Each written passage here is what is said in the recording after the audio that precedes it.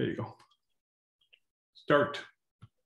All right. Um, so, like I was saying, there's a lot of different topics, obviously, because this is sort of a catch-all. But um, the two things I I basically just use the the the the, the tidyverse version of the the code to show to sort of illustrate some stuff. Um, so hopefully we'll get to the end of the hour, but I don't know. Um, so yeah, so basically I just focused on kind of this, the instrumental variable idea and then also on this idea of regression discontinuity. Okay. Um, that was, you know, and even that I'm probably not getting that far. So um I think you talked about ignorability in the last chapter, right? Correct. Yeah, okay. the last two chapters, I think the ignorability. Last two chapters. So this idea of ignorability is um um you know that the that the um the outcomes are they're independent of the treatment, right? So right. Or um, conditionally. What's that? Or conditional on something, or right? Conditional, right? Yeah. Okay. Um, and then they also kind of pointed out, like in the chapter, that you know that if we if we have all of the confounders measured and, and accounted for, then you know, we should be confident. But there was a sentence in there that I like that was, you know, when we when are we really confident right. in all that we measured? So anyway, so if the ignorability of the treatment assignment is not supportable, there may be other variables that appear to be randomly assigned or can be considered as such. But this variable is called the instrument or I, which is predictive of the treatment. And then we may have to use it to isolate a particular kind of targeted causal estimand. Um, uh, the instrument should only affect the treatment assignment and have no direct effect on the outcome. So I guess that's sort of the, the, the and I've seen sort of similar definitions in my readings over the years. I, I, I don't I've never really done much with instrumental variables. I don't know about you, but I've heard about never. it a lot, so I'm actually kind of like interested. But yeah, it's at the end of this book, it's kind of a lot to, to get into as a topic. But yeah, so basically, it's you know it should affect the the, the treatment or the the predictor, but not the actual outcome. Um, so one of the things that, that, that they use is our our, our, favorite uh, Sesame Street uh, well, I guess what's I, we I don't know if we've done Sesame Street, but we've done um, electric company, right? And so what they talk about this, you know, um, RCT or this this kind of to show the effects of watching Sesame Street on. Um, think the outcome was some kind of standardized test in reading or math or something like that. Um, so you can't really experimentally force kids to watch Sesame Street or to not watch Sesame Street. So they can't really, you can't really randomize that. But what you can do is randomize who gets encouraged to watch, right? Mm-hmm. So this idea of encouragement is um, sometimes referred to as a randomized encouraged encouragement um, um, design. And so the encouragement is an example of what's called an intent to treat effect, which, you know, basically is, you know, regardless of what happens, the intent was, you know, to get the kids to, um, you know, want to to watch this this this intervention, right? Um, so basically, then the, then they also talk about, you know, so encouragement is this thing that you know hopefully um, predicts watching, but doesn't influence the outcome. Then they also talk about, you know, you have a couple of different outcomes, right? So the main outcome is their scores on these um, these standardized tests, right? Right. Um, but another way you can look at it as a potential intermediate outcome is compliance. Like, you know, how many kids are actually watching the dang show, right?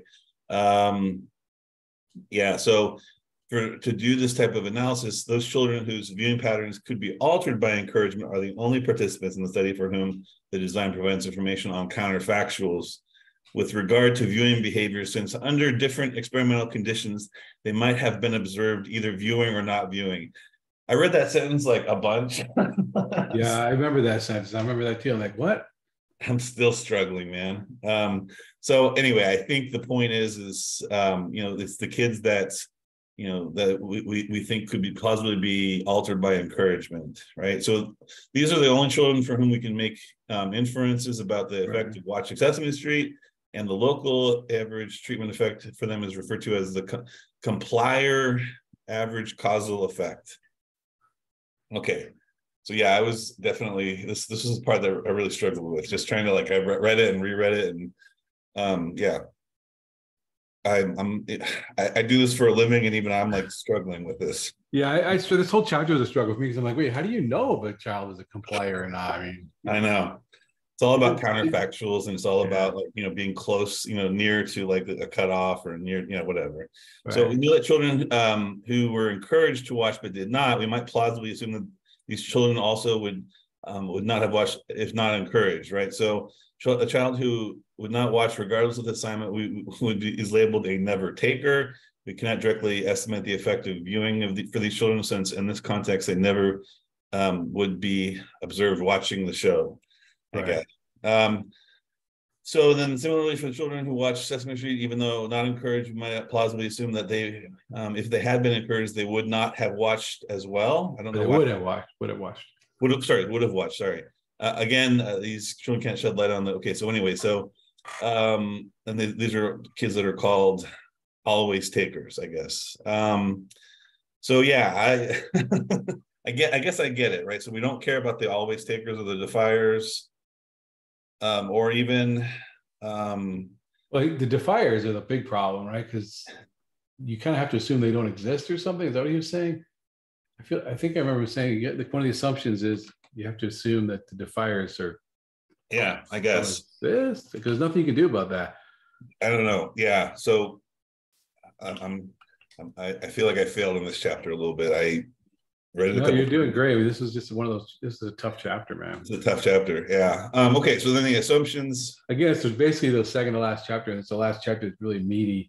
And I, I feel yeah, like yeah, this this just feels like a step too far for this late in the book, but yeah. So I feel yeah, like but, but, you know, to be fair though, like I did, I did, I did go on Amazon and buy a couple books on causal inference. So I well, you should it, post what you what you bought. If you or any of the ones you like anyway. Yeah, well, one of them has R code in it, so I'll let you know. Yeah, yeah. Um, I don't care if it's R code or not, but yeah, well, I kind of, I mean, I like those. I, I, I tend to like those just because they have things we can work through right. on, on in code. All right. So, what are some of the key assumptions um, for estimating instrumental variables?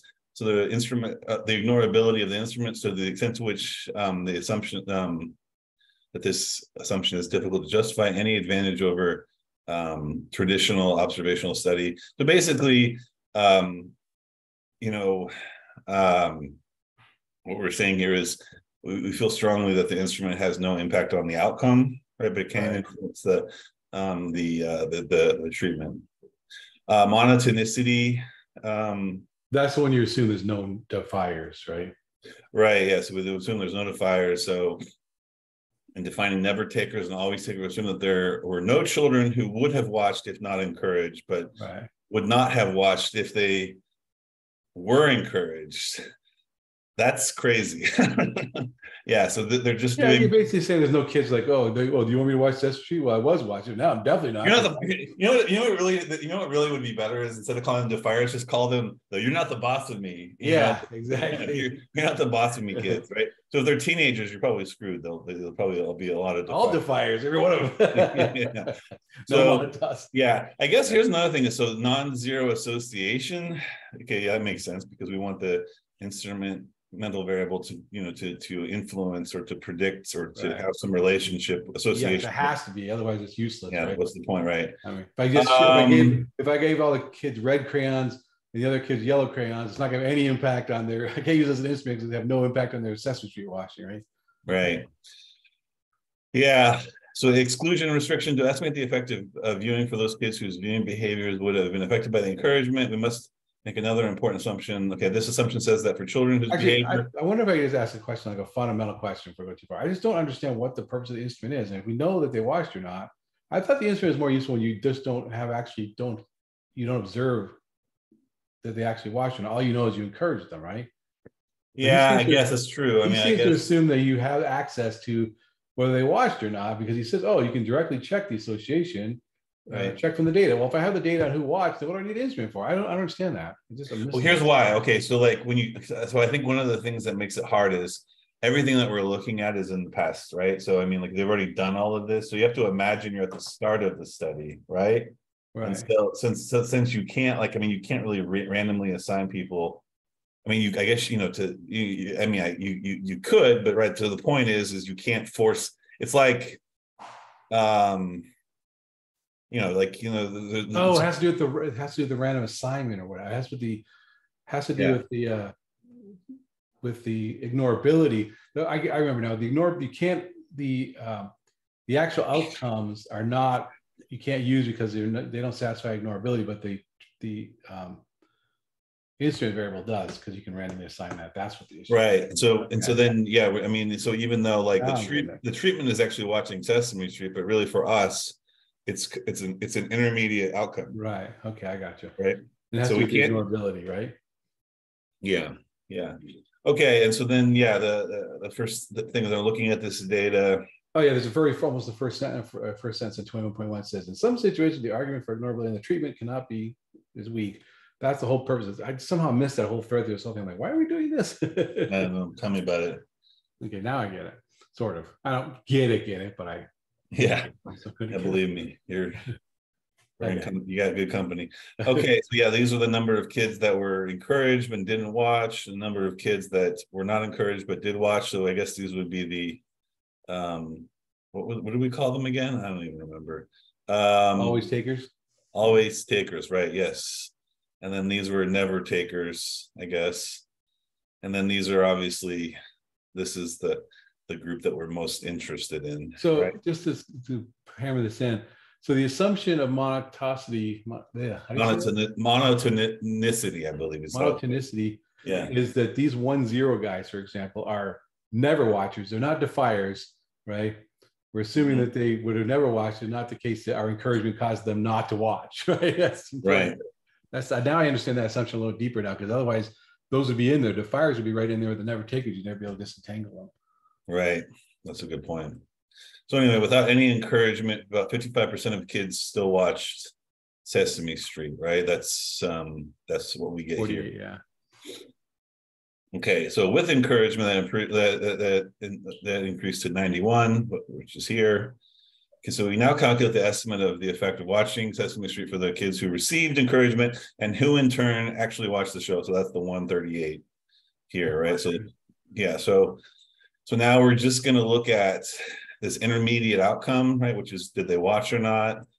And then uh, using encouragement, that random assignment as a yeah. So so the estimand of um wait a minute. Oh yeah, so the estimand of encourage is simply the difference in the proportion of children who watch Sesame Street when encouraged versus when not encouraged, right? So that's just um yeah, that's that's how we get that, right? Right. So that's so 36%, right? Same as yeah for the fit. Yeah. Okay, when we compute the intent to treat estimate obtained in this case using regression of the outcome, the post-treatment, um, so it's a letter recognition task, right? That's that's Right. fairly that's like an intention and sort of like linguistic test, kind of, I think. Um, oh, I don't know why I just okay, good. So um the estimated coefficient of encouragement in this regression is is 2.9. So uh so then we can inflate that by the, by dividing by the percentage of children affected by the intervention, right? So this is what's called a Walden's um, estimate, right? So, um, yeah, what's so yeah, the difference here is because so the postlet is the actual um, the actual outcome, right? And so, but uh, watched is that intermediate outcome. So I guess what we're doing here is taking the coefficient of the effects of encouragement on the ultimate outcome and dividing it by um, the effects of encouragement on watching. Does that make sense? Kind of. I mean, that's they didn't really say much about this, right? But so that's. Do you see what I'm saying here? So so fit one A is the outcome is, um, watching is the outcome, Right. right? And then fit one B is the postlet. That's just that's just it. Just change that number in your mind to like standardized test, right? Which is right, right. like let, letter recognition task. Yeah. So thirty-six percent of the kids that were encouraged watched, and what was the um? and so kind of dividing by that percentage in some way to get this Wald estimate from the slope of the postlet versus encouraged. Why are Yeah. we doing that though? What the percentage of children affected by the yes, percentage of children affected by the intervention. Okay. Okay. Why do we want to inflate that? I just don't get that at all. What's what's what Yeah. Well, I guess I guess what it is is so we're we're we're, we're making the effects of the um the coefficient in the situation where we're just looking at um the effects of encouragement on watching, right? Oh, so- the encouraged, right? I get it now, right? So this is the CACE thing, right? I think so, kind of. Yeah, that's the Wald estimate is the same as that, I think, isn't it? Yeah, but you notice like in the part of the book, they just say, well, this is what the Wald estimate is, and they kind of just move on. So Yeah, they don't- don't talk much about it. Don't talk about it. So that's one that's kind of frustrating, but whatever. Okay, so now um, I'm going to talk about like another way of doing this in a regression framework. There's what's called the two-stage least squares. So um, it's a little bit like what we just kind of showed up above, right? So with 1A, we had the effects of encouragement on watching, right? Um, so yeah, we get um, we get predicted values for this. And then what we do is we add um the predicted values for the from for watching for having watched onto the data set. And then we regress this. So basically what we're doing is we're taking the predicted sc- scores in the model from um the model where we're using encouragement to predict watching and now we're saying okay this is the, the effects of encouragement on watching how does that predict their scores right Okay. and so yeah by the way notice how this is um the same as the wald estimate Right, right. Like, yeah interesting So watch predicted. Okay. sorry where did i i lost my spot here um Watch oh, predicted right, two right, A right. is the effect of watching Sesame Street on letter recognition. The coefficient. What is watch predict two A again? I'm sorry, that's the So watched um, predict 2A is basically it's the effect of encouragement on watching. but it's a per- it's not the actual it's not the actual whether they watched or not. It's a prediction if they would have watched, I guess, or the, the Based on the probability they would have watched or something. I don't know what it is, but Well, no, it's so it's a linear model, right? Right. So this is so it's basically just shouldn't an- it be like a logistic model? It's that's weird, but anyway. yeah, it's a good well, it's a good point. Wash is like zero or one, right? So I'm uh, Yeah, no, I know it's an, it's actually yeah, I didn't even think about that. Oh, it's a good point. Because isn't watch possibly could be like more than one? I, anyway, I, yeah, I I, I was really like what is what does watch pred two A look like? I mean, can we do a histogram of that or something? I'm just curious. Oh, um, well, here's here's what we have uh, for the the predicted values for this. We have this, but we could do. No, that's uh, good. That summary's good. So the mean, so it, it looks like it, it doesn't, in this particular case, it doesn't get too far out of, out of range. It's like between, you know, those third quantiles 0.91. So Yeah, yeah. my well, five, the- four, the six, minimum oh, is it's, it's above 0.5. So oh, the max, so it's in range, so it's not a problem. Yeah. So this, okay, yeah. So um, here the coefficient Interesting. is is the effect of watching Sesame Street on letter recognition for those children who would watch if encouraged, but not otherwise. Right.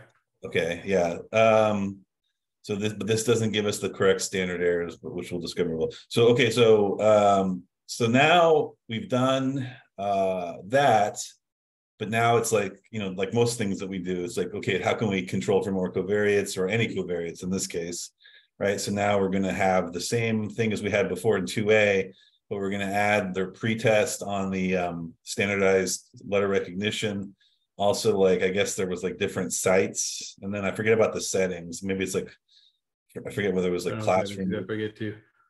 yeah so anyway i forget this you know but anyway there was there's obviously five sites and so now remember the um the effect for 2a was sorry uh encouraged it's 0.36 it's a little bit lower yeah, and so now we're going to do the same thing again. We're going to make Right. uh, do the we're going prediction. to take. And so this actually is interesting. Look at this. Ah, see, it goes above one. Yeah, I don't know how that works. Then because it's like, what? How do you how do you have above one if one is, you know, Uh, I guess uh, maybe it doesn't matter. I don't know. I, I, I would think a logistic regression would be used, but since we're not, this is only an intermediate kind of thing. It doesn't mean it doesn't matter. You're not actually using it. Yeah. it. Who knows? All right, so now we're doing the same thing again, but remember, we've added these three covariates as ways of you know controlling for this type of stuff. So um, the estimated effect of watching uh, Sesame Street on on the compi- compiler, I, I keep wanting to say compiling because you know it's like a computer thing, uh, is about blah blah blah points. So um, yeah, it's yeah, I guess it would be 14 points, right? Yeah. So, um, but once again, we can't trust the standard error. Okay. So standard errors in for um in the instrumental variable estimates, we know we, we show here how to adjust standard errors um, to account for uncertainty in both stages.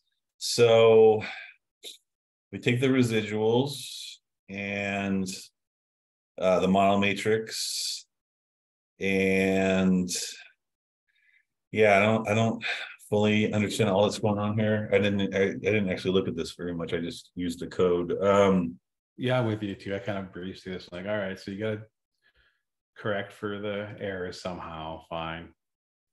right.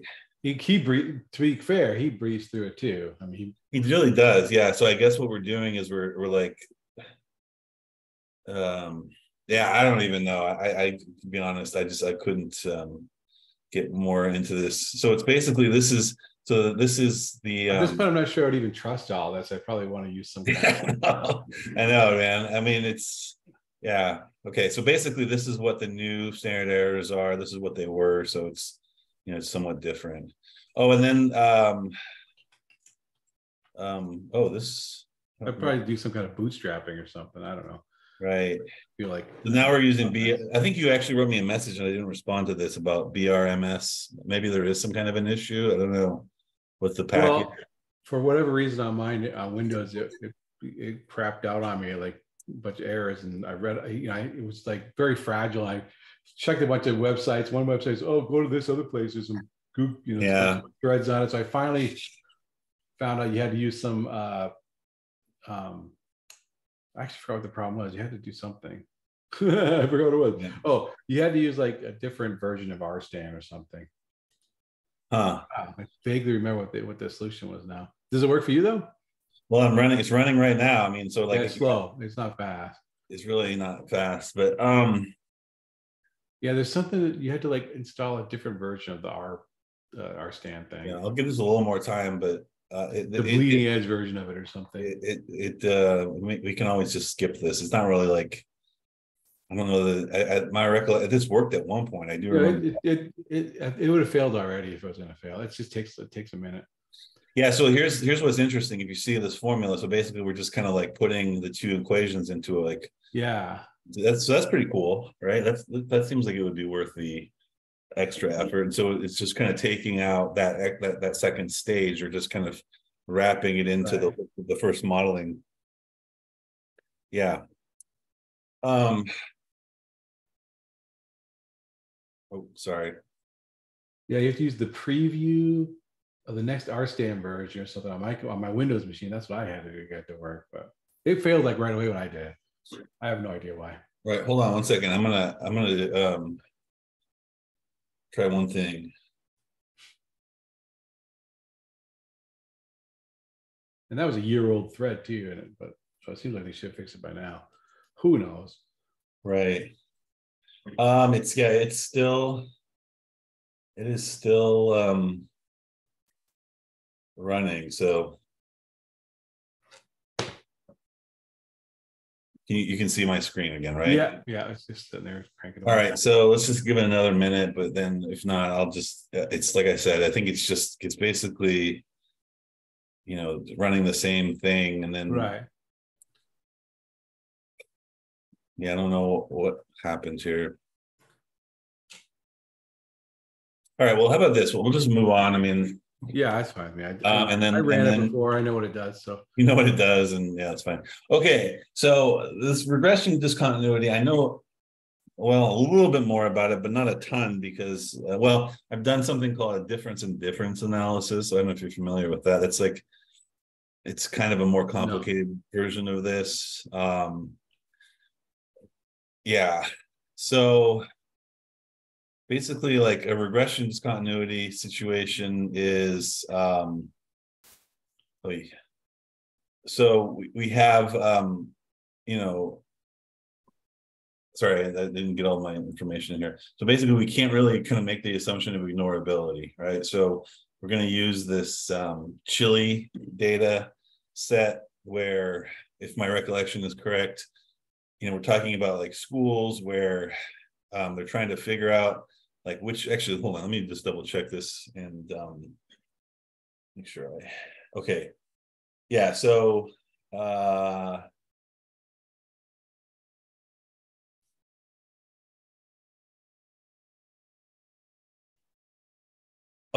Okay, so the Chilean government introduced 900 schools with P900 in 1990 in an effort to increase performance in struggling public schools by providing resources in four different areas. So they had different areas in different years that were sort of um, in an effort to target the neediest schools, provided these resources only to the schools who, whose mean fourth grade test scores uh, were lower than a set cutoff, right? So this is where the kind of the discontinuity takes place is where does that cut off, right? Right. So um, here we have, you know, these are all the, the, the schools that are not um, uh, eligible, and then these are the 572 are eligible. So the first thing we, we would do is so this so this rule um, two is sort of like whether they're um, eligible or not. So if it's greater, if it's um, wait a minute, yeah, if it's less than zero, then that means that they are eligible, right? So uh, we're, we're, we're including both that rule cutoff and the eligibility status, and we get um, this, right? So we have, you know, uh, a decent effect for the eligibility, but the, you know, the rule is, is, is about half of that, right? And so um, the intent to treat effect, which looks at all of the data, kind of shows us this. This is pretty cool. I, I, I didn't make this was I you know made this up. That yeah. little gap between the left line and the right, that's the discontinuity, right? So um yeah, so this is that, you know, this is the assignment, this is that rule two thing. And then this is the, the group that's eligible, and this is the group that is right. So you can see this that we get this bump up. Um right. So um, okay, and then um, now what did what? Oh yeah, this is. Why did we? I forget. Why did we do this? Okay, so this is yeah. So this is now data that's only. Okay, right. Okay, I remember now. So this is data that's only um, within five points of that cutoff. So just to be clear, so it's like basically this area here. If you can see where I'm at, kind of Yes. Yeah. Yeah. Back and forth. So, so now we're only looking at those people and the effects of just to remember here so eligibility was 1.5 rule 2 was 0.7 right so now we've got um you know a little bit more because we're only looking at kind of really related things um so the coefficient of rule 2 is the slope of the line and the estimated uh, effective eligibility um, for the P900 is uh, to, which corresponds to the discontinuity at the cutoff, right? Um, so the intent to treat for um, exposure to P90 on schools is so this. So now uh, this you'll notice how we're, we're like more in focus, I guess you could say, because this is only you know if you look at the x-axis here, it's we're only looking at five, you know negative five to five, right? So we've eliminated all of those um ones that are really far out that yeah far out that aren't really worth considering, right? So now we're doing a couple other things. We're, we're saying, okay, you, keeping what we already had. Now we're using their pre-existing scores in, in the schools um, as as covariates, right, or pre-treatment variables. So now, oh, you can see how we've kind of flattened everything out because we're, you know, we're adjusting for those pre uh, or the pre-treatment you know differences i guess you could say um yeah. So then, oh yeah, and then and this is actually something they don't do in the book. This is like the guy. He's like, this is actually. He actually had it even more focused in. This plot is this is his writing or her writing. I don't know who it Okay. is. This plot is different from the one in the book. The adjustment above only uses the data near the cutoff that is used in the model. The plot in the book adjusts for using all the data. Okay. And then like the last thing he tries to do um, is like do some interactions. So now we're looking at eligibility by like their reading scores, I guess interact. So it's like, is there is there a special effect for say having high reading pre pretest or low pretest reading scores and being eligible? Is there some kind of extra sort of umph right?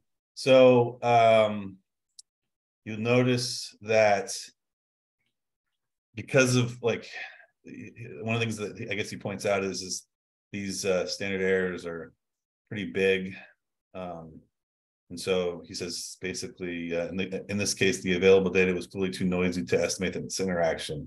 So anyway, this was like kind of a thing that the um, this the, this code author kind of did to um, kind of show that um yeah and so anyway so this is like in the book this is the final model that, that they do right which is you know we look at the effects of eligibility and you know there's really no effect for the rule here um so this is you know as close as we can get i guess to to having some kind of like causal inference kind of you know similar to the um, instrumental variable but that's as far as i got.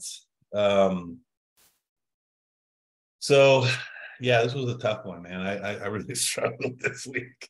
And Yeah, actually I mean, I kind of kind of really glossed over the uh, you know the variation within a between groups thing because I feel like that really should be in another book about group level things. Uh, the last part of this chapter was kind of interesting to me, just like the discussion about causes of effects and effects of causes. That's kind of an interesting discussion, right? yeah So what we usually are doing here is we're looking for the effects of, at the effects of causes. What people really want is what people kind of colloquially, colloquially want is like, what's the cause of this effect, right? You know, what causes lung cancer? Well, right lots of things, but one we do know that smoking is an effect that does cause seem to cause lung cancer, for example, but it's not the only thing. Right Um, so it's kind of interesting. And then this leads to this thing you were saying. What was that book you showed the other day? Uh, oh getting th- uh, making things happen making things happen. It's it kind of gets into that discussion about you know, you know, A causes B causes C causes the infinite regression of causes. You really can't actually answer that question in any kind of sensible way, perhaps, right? What did you get the book by the way no, I'm just saying here in this book, I, Oh, I, I see. I Yeah. do meant I did meant to get that book. Um, I'm sorry, what was it called? Yeah, I gotta write this down. Ma- making things happen by um, i think it's james uh, uh, woodward i think or someone named woodward i think it's woodward or something Woodward.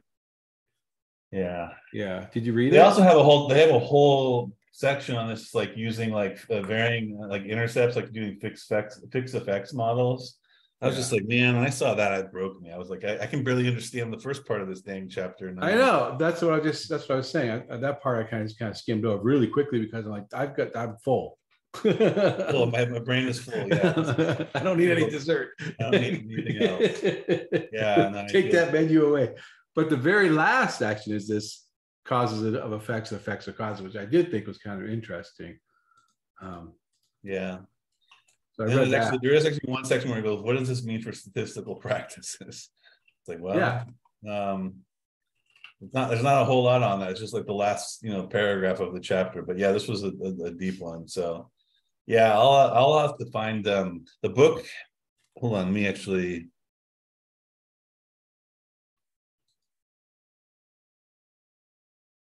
Interesting.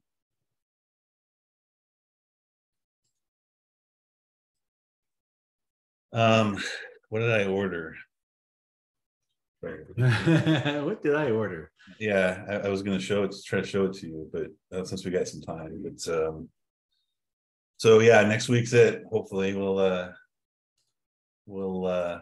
We'll, Yeah, just post. book, but yeah, it's just a lot, right? It's um. It is a lot. Well, the last chapter um, is really just again, you know, hey, here's some like teasers. Oh, there you go. Okay, Yeah, teaser stuff on uh, stuff that is going to come someday, maybe in this uh, in another book, but um, Yeah. that hasn't been. Oh, you can go back to his older book, but um, you know, so I think we're just going to kind of breeze through this next week and we're going to celebrate making it through this book. Um, and call it good. Yeah. I think we did a really good job going through this book, to tell you the truth, in uh, my opinion. Yeah. It's a nice short chapter, so it should be fine. So I'll cover that next week and then we'll call it good, I think. Now, this book you just sent, it's our book. It's actually a, you know, the standard like CRC R book, right? It's not, it's not one that's available online though. I don't know. Yeah, no, I, I know that's kind of a thing that we want. Um, I, I mean, I don't know if it is online. I don't, I, it's a good question. Sometimes you can like, sometimes even if there isn't like an official one, there might be like a GitHub repository. Yeah, or yeah, like there is for some, I mean, official, well, they are official GitHub repositories, but they're not like the actual full text of the book, but there's something you can. Oh, here's a, here's a, here's an interesting thing I just found. Check this out. So this is just like a GitHub repository of a bunch of books about about this. And it looks like there actually is, no, wait a minute, hold on. No, never mind. Well, we can look, yeah, you know, might be some good gems there. for Yeah. sure. Okay. Well, All right, man. Well, hey, um, Let's get going. Um, appreciate you trudging through that really difficult chapter. I'm glad I didn't have to. I could get, I wish I had more for you, but it was, No, Yeah, that's I more than I, enough. I think the problem is, is yeah, the, the whole counterfactual thing gets really tricky, Yeah. you know, so. Um, So I'm glad, I mean, in some sense, I'm, I'm glad I'm not actually using that. I'm not doing that kind of work. So I don't have to worry about that much. Well, actually, it's something I, you know, because I have done a lot of observational research, which is, you know, just taking what you have and kind of doing what you can with it. I really need to actually, I, really- I really put that on a t-shirt. Taking what you have and doing what you can with it. well, it's like, it's, like, because you're not, you can't randomly assign anything, you know what I That's mean? funny. Well, yeah, Take what you have and do what you can with it. I like that.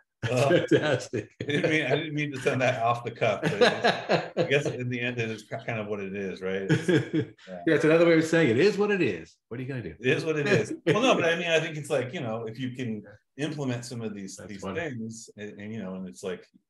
It, it can definitely get you closer to a, you know, a stronger inference, you know, perhaps, I, I guess. I haven't really done it though in like a, um. In a, like, real data setting yet, so I probably need to get into that, but. Anyway, next week, my friend. Yeah, thank you very much. See you next Yes, week. last, Oh, last I gotta week. I gotta tape end or stop. Oh, yeah, stop, yeah. Or is it stop?